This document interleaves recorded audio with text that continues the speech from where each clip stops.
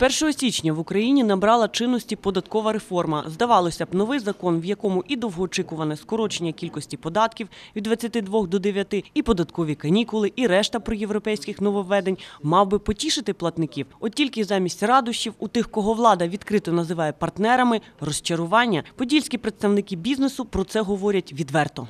Як розібратися з тими податками, з цією податковою реформою, яка нас відкинула на 5 шагів назад, а не на один і на два, того що вона дійсно е, такий зашмор закинула, що диво даєшся, хто їй міг таку протолкнути, і як ті наші обранці, яких ми вибирали звідси, е, можуть це все пропускати крізь себе. Перше, що викликає невдоволення місцевих акул бізнесу, є податки на заробітну плату. кажуть, оновленим його чекали як манни небесної, натомість отримали кота у мішку. Всі очікували, що буде пільга. Тіньовики думали, вже рахували, як вийти з тіні, щоб не бути зв'язаним з прокуратурою, з міліцією, з усім і почати чесно працювати на Україну.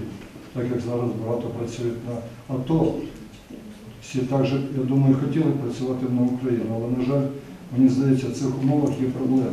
Чимало проблем у бізнесу виникає і у зв'язку із збільшенням орендної плати за землю. Головного болю додає ще й податок на нерухомість. Багато підприємств мають ту, ту нерухомість, яка набудована на свій час. Якщо хтось скаже, продайте її, то це їх продати. Якби могли продати, давно вже би продали, якби хтось її придбав. Багато нерухомості, яка сьогодні з 1 січня дуже серйозно повинна оподатковуватися. Знову ж таки, де брати кошти? За рахунок чого утримувати штат і взагалі як вижити? Чимало підприємців краю лише за два місяці дії податкового нововведення згорнули свою діяльність. У нас є сьогодні керівництво нашого регіону. Чому керівництво нашого регіону не доносить до прем'єр-міністра? Що слухайте, у нас біда, у нас закриваються підприємства, у нас не буде чим наповнювати бюджет. Ті, ті закони, ті реформи, які приймаються, вони ну нехай не каже, що недолугі, давайте ми скажемо, але ж треба щось з цим робити. Що робити, аби допомогти бізнесу втриматись на плаву, влада тепер знає. У крайньому разі, у чому переконує перший заступник голови облдержадміністрації Олександр Семчишин, каже, після конструктивної розмови з учасниками координаційної групи, котрі зібралися задля обговорення проекту програми розвитку підприємництва на найближчі два роки, віз із проблемами так і зрушив з місця. Сьогодні ми з круглим столом домовилися про те, що не будемо жити декларативними принципами, не будемо просто збирати круглі столи для того, щоб 2-3 години поговорити і розійтись, а будемо працювати покроково. Перший крок на зустріч створення групи сприяння діяльності малому та середньому бізнесу. Новостворений орган запрацює найближчим часом. Роботу кажуть, проводитиме не на папері, а в реальному секторі економіки. Працюватиме погалузево. Ми домовились про те, що будемо працювати галузево, аби не збирати таких великоформатних нарад, де говориться про все і ні про що. У нас буде розподіл по галузево, Е, бізнес, який працює в секторі агропромислового розвитку, бізнес, який працює в торгівлі, бізнес, який працює на виробництві, і будуть такі цільові фахові дискусії.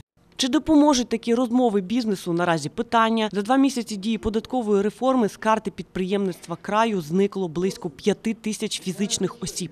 Протягом грудня 2014 року, січня 2015 року е, на облік стало е, на облік податкової інспекції стало 130 юридичних осіб. Відповідно, знялося 65. Е, Що стосується фізичних осіб підприємців, то е, на облік інспекції стало 705 платників і знялося 4900.